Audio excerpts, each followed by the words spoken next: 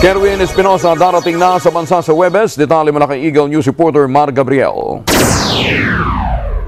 Sa Webes na inaasahan ang pagbalik sa bansa ni Kerwin Espinosa ayon mismo kay PNP Chief Police Director General Ronald Bato de la Rosa. Ayon kay de la Rosa, nakaalis na patungong Abu Dhabi si AIDG Chief Senior Superintendent Albert Ferro. Ito ay upang sunduin si Kerwin na kasalukuyang nasa kustodiya pa rin ng Abu Dhabi authorities. Pagdating sa bansa, idediretso daw si Kerwin sa Campo Crame para sumailalim sa mga normal na proseso at pansamantala muna siyang ididitine sa PNP Custodial Center.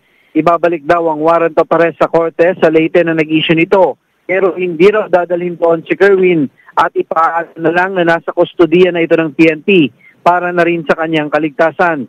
Muli namang ginarantyahan ni Bato na hindi sasapitin ni Kerwin ang kinahinatnan ng kanyang amang si Albuera Mayor Rolando Espinosa na napatay sa loob ng kanyang selda sa Baybay Provincial Jail.